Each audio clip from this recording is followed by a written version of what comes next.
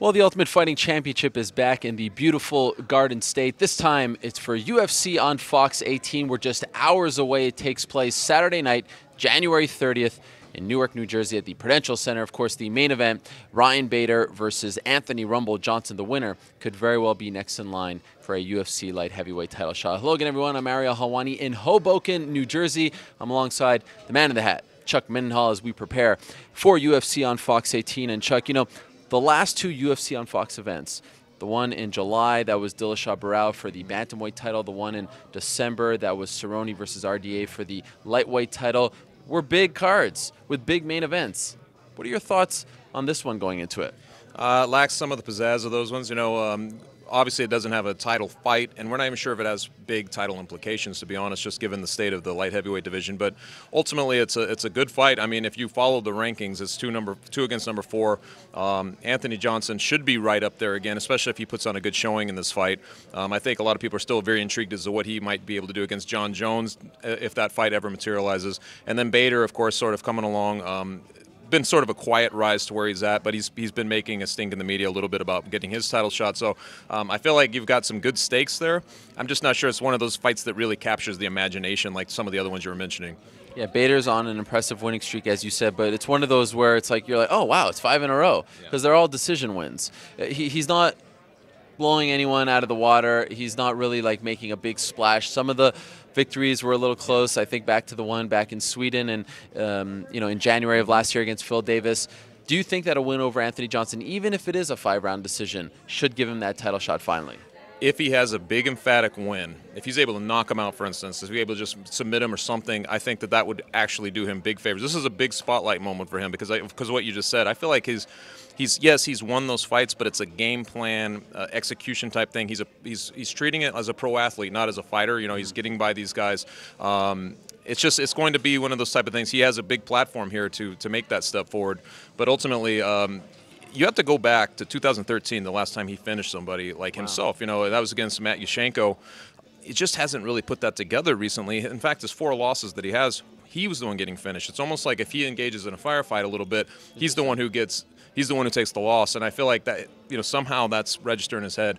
Um, if, so if he fights the way that we know he can, which is more of a try to control, you know, a controlled fight, um, control the cage, rough up Johnson. You know what I mean? Like don't put yourself in danger of his power and things like that. We might see another Bader esque performance, but I, I, feel like he wouldn't do himself any favors in that what we're talking about here. Even if he just ekes out another split decision or like a unanimous decision, but it's not quite spectacular. I feel like he, he won't he will, probably will not get another title shot soon. You know what I mean? Speaking of the mental side of the game, you know both Ryan and his head coach Aaron Simpson have been making a big deal out of the fact that they don't believe Anthony Johnson is a mentally strong fighter, that, that they could break him. Mm-hmm. Do you foresee that happening? I don't know, man. It's it's funny because I feel like we've seen every version of Johnson possible. Yeah. I'm obviously the guy was fighting at 170 pounds. He wasn't always making it, but the fact that he had the fortitude and the ability to get down to 170 pounds speaks somewhat to his mental, um, what he's able, yeah. what he's capable of. I don't know, man. I mean, I know some people have said he sort of wilts down the stretch, maybe that maybe a little bit against um, Cormier, but come on, that's Daniel Cormier. I, I, don't I don't really buy it to be completely honest. I think that he's a guy who um, he's fought a lot of big names in the sport, and I feel like he's finally grown into himself. He's finally grown into his power. I think he finally believes 100% that he belongs in this division, and he's packing the biggest punch that he's ever had. I just think that he's feeling good about himself. I don't think he's going to. I don't think Ryan. If he if he's going to break, I don't think it's going to be Ryan Bader the guy who do it. And that being said, you know, if I tell you on Sunday morning, oh, that main event ended quickly, you're probably guessing that it was Rumble. If, if, if I tell you it went five rounds, there's a good chance it's Ryan Bader, right? He'll sort of grind out that kind of win. Okay, so so when you envision this fight, what do you think happens?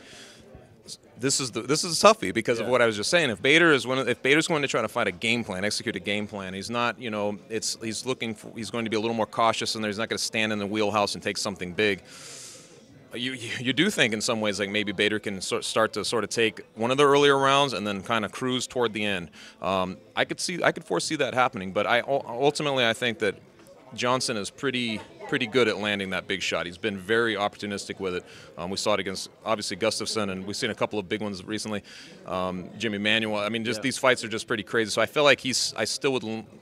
When you imagine it, I think I still see him landing something big early-ish first round or two, and Bader going out. Bader, like I said, Bader, wow. the way he does lose is he gets finished. So I feel like this is a guy. It's sort of a bad, bad matchup in that sense. Yeah, you wonder because when when Anthony Johnson fought Phil Davis at UFC 172. I'm not saying that Davis and Bader are the exact same, but they have they have similarities. He was able to stuff the takedown and really control the fight. And when Bader gets frustrated, I think back to that fight against Lyoto Machida. Obviously, Machida a much different fighter than Rumble. But when he gets frustrated, he seems to open himself up to the knockout. And I wonder if this time, you know, if Johnson starts to stuff a couple of those takedowns, does he get frustrated and then leave himself open? You know what I mean? Glover Teixeira. I mean, mm. that that was one of those fights where just all of a sudden they went for it, and he got he got hit. You know, right. and I'm I could foresee that too. And when who's mentally breaking in that situation? I mean, um, you could actually make the argument the other way. I guess is what I'm trying to say. But um, it's going to be a game plan. You know, I think Rumble Johnson doesn't, you know, he doesn't try to sugarcoat what he's trying to do. I think he's going to go in there and try to knock him out, and he's going to stuff like he's he's going to want to stuff his takedowns. He's going to want to uh, make it very difficult to budge. He's just not going to want to play Ryan Bader's game, but. Um, I don't know. I just think he's he's he'll, he'll he's opportunistic enough. He's a wrestler who knows how to land that shot. So I just feel like he'll he'll size something up. I think on Bader and probably finish it KO TKO. You're not going to give us a time this time. You're you're off that after last time. I think I was too specific with that Cruz yeah, one. Yeah. 336 of the third round, yeah, wasn't it? was it. I was watching the clock. It didn't work out for me though. No, so I'll, just, I'll, just, say right. second roundish TKO. Fair enough. Let's move along to the co-main event. You know, it's been a very interesting week for the uh, the UFC heavyweight division, yeah. I should say. Um, yeah, first, we thought it was going to be Cain versus Werdum next weekend. Then it was Miocic versus Werdum, and then all this happens in the midst of Josh Barnett's media tour, and he's campaigning for it. Rothwell sort of as well. I mean, strange. I think they made the right call, though. I, I don't like the idea of a screwing Fox by taking screwing the ticket yeah. buyers. You know, you, you can't mix and match like that. Do you agree? Yes, 100%. I mean this this particular card, um, it's got the, literally it's like that the the top fight, and then there's that one, yeah. and it sort of drops off from there. I mean, I, I, think we can all look at it and be like, you know, a lot of prospects and guys like that are sort of underneath it. A couple of desperation guys on the prelims and things like that. You can't just lop that one out and expect this to be a viable card. Right. Um, the people who bought these tickets, I feel like that's one of the reasons this is a good heavyweight matchup. So I was totally fine with them keeping it the way it is. So Barnett is in an interesting spot. He took a long layoff, couple years, comes back, looks to be in tremendous shape against Roy Nelson. Uh, lands the most significant strikes in any heavyweight fight in UFC history. You know, grinds him out, yeah. does what Josh Barnett does, picks up a win. Now here he is, kind of climbing that ladder again. But you have Ben Rothwell. Yeah. Who would have thought this at this stage of his career? This is a guy who's had his ups and downs. And you know, we talk all we want about Overeem being close on. He has a win over Overeem. You know, he's coming off some big wins as yeah. well.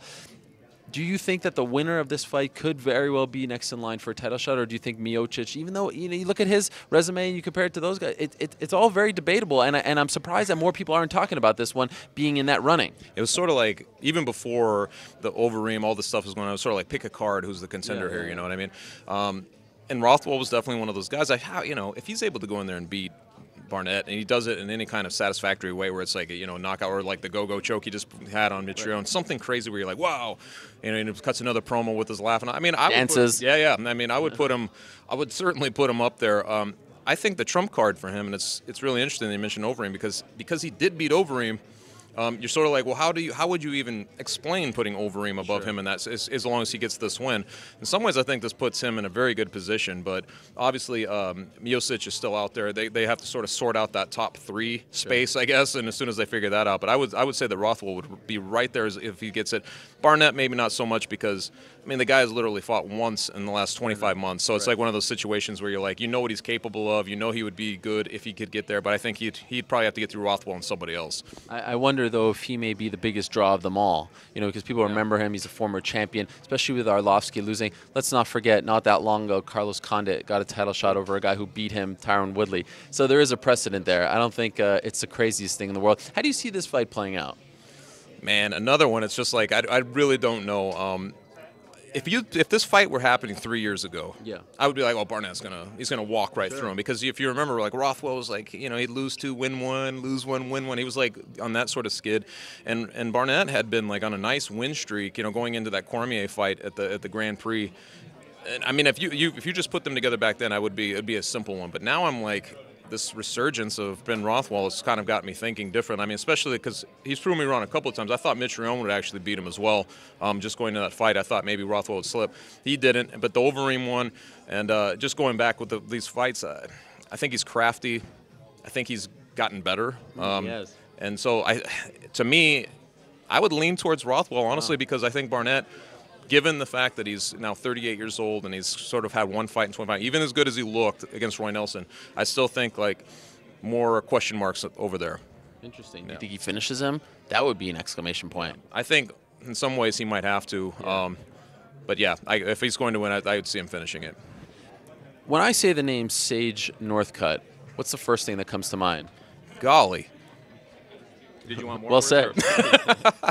no, he's um, unreal. I mean, it would almost be like something like that. I don't mean it quite literally, but it's like. Uh, it's like nothing we've seen in the fight game, friends. I mean, I, actually, I, I can't think of any sports where a 19-year-old kid comes up and he's just that sort of, I don't want to say naive, but just so positive tinted. Like he's just you can't rattle him in terms of thing, and you know, he's just like, you know, wide eyed and like that. I mean, very odd. And here we are in his third fight, and I feel like all of the press he's sort of doing for this has been the same. And so you're like, I think there was a part of me that was taking it all with a grain of salt at first. Like, is this guy sort of putting us on? But then you're like, he's 19, you know, yeah. and he's like, maybe just, maybe he hasn't been exposed to things. What he's going in the sordid world of fighting. And it's sort of like this uh, nice balancing act, you know what I mean, of all the guys that we have that we know are.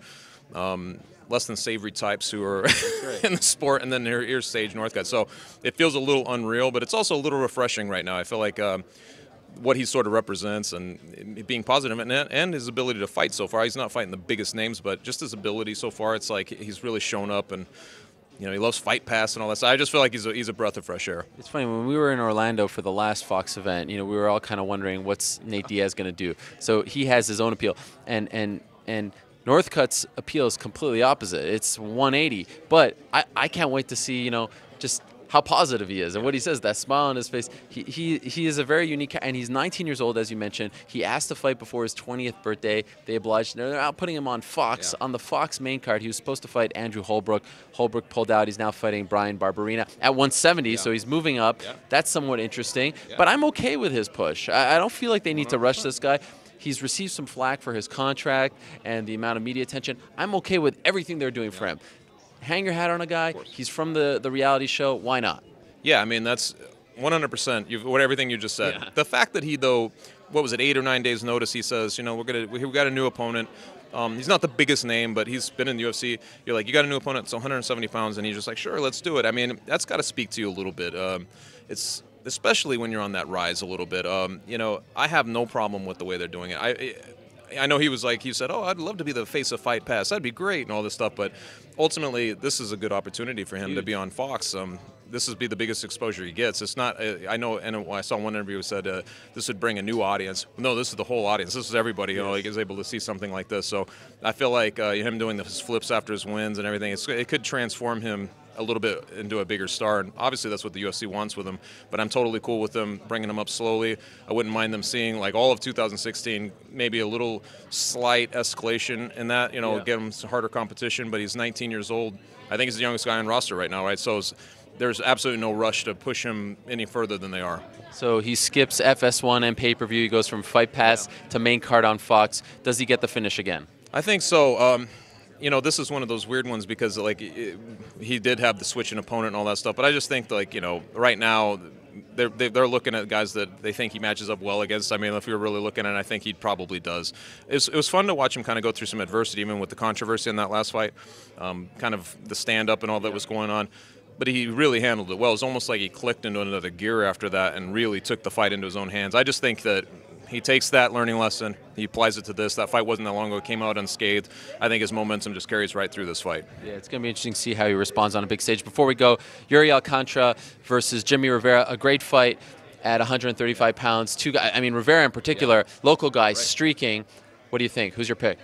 Yeah, it's a tough veteran he's fighting, but I would go with the local guy. Anytime they get a situation like this, you feel like this is a Super Bowl in a way. Like he's getting, he's showing up, and he finally gets a a, a, a nice fight on a main card like this in front of a national audience. I just think that he's going to continue his streak.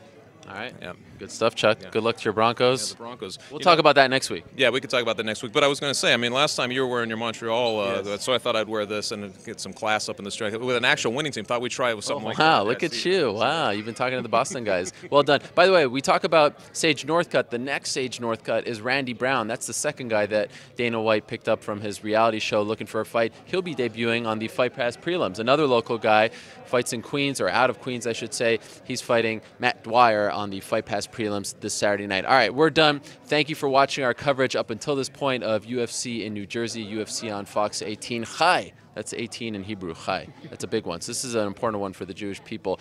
Stick around Saturday night. We'll have all your post-fight coverage from New York, New Jersey. Thanks so much.